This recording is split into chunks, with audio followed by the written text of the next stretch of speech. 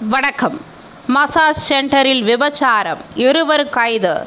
கோவை சரவணம்பட்டி பகுதியில் மசாஜ் சென்டரில் விபச்சாரம் நடத்திய இருவர் கைது செய்யப்பட்டனர்.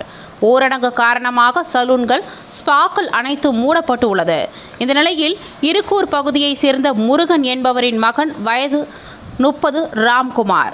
நேற்று சரவணம்பட்டி பகுதியில் உள்ள ஒரு மசாஜ் சென்டருக்கு சென்றுள்ளார். அப்பொழுது அங்கு இருந்த இளைஞர் ஒருவர் கூடுதலாக பணம் கொடுத்தால் பெண்களுடன் உல்லாசமாக இருக்கலாம் என கூறி இளம் பெண்களை காண்பித்துள்ளார். இதனால் பயந்து போன ராம்குமார் கோவை சரவணம்பட்டி போலீஸ் ஸ்டேஷனில் நேரில் சென்று புகார் அளித்தார். புகாரின் பேரில் இன்ஸ்பெக்டர் திருப்பதி தலைமையிலான போலீசார் சம்பவ இடத்திற்கு விரைந்து சென்று விசாரணை நடத்தினர். அப்பொழுது அங்கு பெண்களை வைத்து விபாச்சாரம் நடத்தியது தெரிய வந்தது.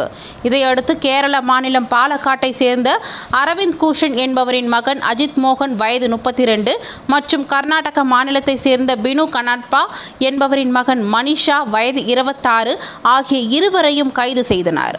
மேலும் அங்கு விபச்சாத்திரத்துக்காக அழைத்து வரப்பட்டிருந்த பெண்களை மீட்டு காப்பகத்திற்கு அனுப்பி வைத்தனர். எங்களுடைய செய்திகள் உங்களுக்கு பிடித்திருந்தால் எங்களது சேனலை சப்ஸ்கிரைப் பண்ணுங்கள் கமெண்ட் பண்ணுங்கள் ஷேர் பண்ணுங்கள் லைக் பண்ணுங்கள் நன்றி வணக்கம்.